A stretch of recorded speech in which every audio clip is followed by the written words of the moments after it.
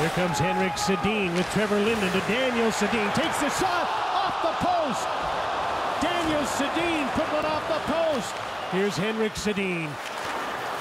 On his backhand, had the puck poked away. Mattias Öhlund. Daniel Sedin to Henrik. He scores! Henrik Sedin! Henrik Sedin from Daniel Sedin.